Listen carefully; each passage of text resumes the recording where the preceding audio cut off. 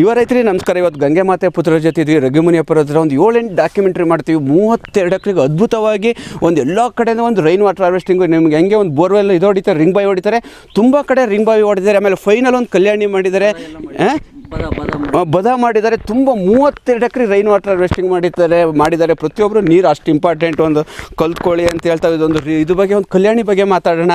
Sir ನಮಸ್ತೆ. ಈ ಕಲ್ಯಾಣಿ ಬಗ್ಗೆ ವಿಶೇಷತೆ ಹೇಳ್ತೀರಾ? ಇದೇನಕ್ಕೆ ಒಂದು ಮೂರು ಸ್ಟೆಪ್ ಮಾಡಿದ್ದೀರಾ? ಎಷ್ಟು ಅಡಿ ಉದ್ದ ಇದೆ ಅಗಲ ಇದೆ ಮತ್ತು ಅಲ್ಲೊಂದು ಏನೋ ಹಾರ್ವೆಸ್ಟ್ ಮಾಡಿದ್ರೆ ಅದೇನದು? ಏನು ವಿಶೇಷತೆ ಅದ್ರದ್ದು?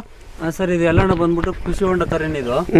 ಕಲ್ಯಾಣಿ ಮಾಡಿದೀವಿ ಯಾಕೆ ಅಂದ್ರೆ ನೀರು ಒತ್ತಡ ಜಾಸ್ತಿ ಆದ್ರೆ ಇದಕ್ಕೆ ಸಪೋರ್ಟ್ ಜಾಸ್ತಿ ಇರುತ್ತೆ. ಅದಕ್ಕೋಸ್ಕರ ಕಲ್ಯಾಣಿ ತರ ಮಾಡಿದ್ವಿ ಸರ್ ಇದು.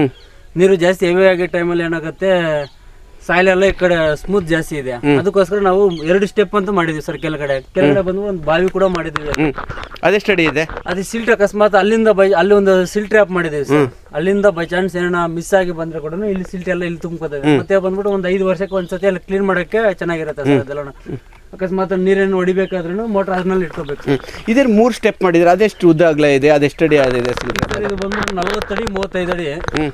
ಉದ್ದ ನಲ್ವತ್ತಡಿ ಮೂವತ್ತೈದು ಅಡಿ ಅಗಲ ಇದೆ. ಡೆಪ್ತ್ ಹದಿನೈದು ಅಡಿ ಇದೆ ಸರ್ ಇದು. ಇದು ನಲ್ವತ್ತೈದು ಅಡಿ? ಹದಿನೈದು ಅಡಿ ಮತ್ತೆ ಇದೊಂದು ಹತ್ತಡಿ ಇದೆ ಸರ್. ಕೆಳಗಡೆ ಇರೋದು ಒಂದು ಹತ್ತು ಅಡಿ. ಹತ್ತಡಿ ಇದೆ. ಇದೆಷ್ಟು ಅಡಿ ಇದೆ ಇದು? ಕೆಳಗಡೆ ಬಂದ್ಬಿಟ್ಟು ನಿಮ್ಗೆ ಹದಿನಾಲ್ಕು ಅಡಿ ಸಿಗುತ್ತೆ ಸರ್ ಇದು. ಕೆಳಗಡೆ ಸ್ಟೆಪ್ ಮೇಲೆ ಸ್ಟೆಪ್ ಬಂದ್ಬಿಟ್ಟು ಒಂದು ಇಪ್ಪತ್ತೆರಡು ಅಡಿ ಸಿಗುತ್ತೆ ಸರ್. ಆ ಕಡೆ ಲಾಸ್ಟ್ ಲಾಸ್ಟ್ ಬಂದ್ಬಿಟ್ಟು ಮೂವತ್ತೈದು ನಲ್ವತ್ತು ಸಿಗುತ್ತೆ ಸರ್. ನಲ್ವತ್ತು ಸಿಗುತ್ತೆ. ಇದು ಎಷ್ಟು ಲೀಟರ್ ಕೆಪಾಸಿಟಿ ಇದೆ? ಲೀಟ್ರ್ ಗೊತ್ತಿಲ್ಲ ಸರ್. ಅಂದಾಜಲ್ಲಿ ಓಕೆ ಇದು ಇದೇನಕ್ಕೆ ಮಾಡಿರೋದು ಈ ಥರ ಇದು ವಿಶೇಷತೆ ಅಲ್ಲ ಇದು? ನೀರ್ಗೋಸ್ಕರ ಸರ್ ಇದು ಮಳೆ ನೀರಿಗೋಸ್ಕರ ಮತ್ತೆ ಅಲ್ಲಿ ಒಂದು ಬೋರ್ವೆಲ್ ಕೂಡ ಇದೆ ಸರ್. ಪಕ್ಕದಲ್ಲೇ? ಮೇಲೆ ಎಲ್ಲಾನು ಫಸ್ಟ್ ಬದ ಮಾಡಿದೀವಿ.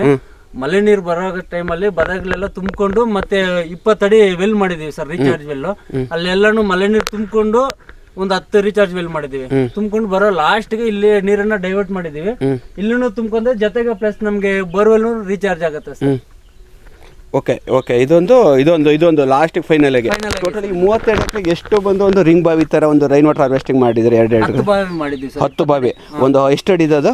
ನಾಲ್ಕು ಅಡಿ ಇಪ್ಪತ್ತಡಿ ಡೆಪ್ತ್ ಇಪ್ಪತ್ತಡಿ ನಾಲ್ಕು ಅಡಿ ಇಪ್ಪತ್ತಡಿ ಅಲ್ಲಲ್ಲಿ ಇನ್ವೆಸ್ಟ್ ಆಗಿ ಎಂಡ್ ಆಫ್ ದಿ ಡೇ ಇಲ್ಲಿಗೆ ಬರೋದು ಎಂಡ್ ಕ್ಲೈಮ್ಯಾಕ್ಸ್ ಇಲ್ಲಿ ಬರೋದು. ಟೋಟಲ್ ಮೂವತ್ತೆರಡು ಎಕರೆಗೆ ಎಷ್ಟು ಮಾಡಿದ್ರೆ ಟೋಟಲ್ ಅವು? ರೈನ್ ವಾಟರ್ ಹಾರ್ವೆಸ್ಟಿಂಗ್ ಎಷ್ಟು ಮಾಡಿದ್ರೆ? ಹತ್ತು ಹತ್ತು ಸರ್. ಹತ್ತು ಮಾಡಿದ್ರಿ ಮೂವತ್ತೆ ಇಪ್ಪತ್ತು ಬದಾಮ್ ಮಾಡಿದೀವಿ ಸರ್.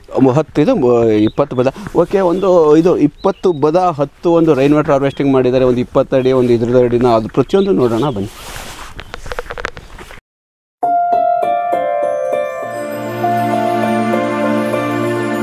ಪ್ರಪಂಚದಲ್ಲಿಯೇ ಭಾರತವು ಸಮೃದ್ಧಿ ಮತ್ತು ಸಂಪದ್ಭರಿತ ದೇಶ.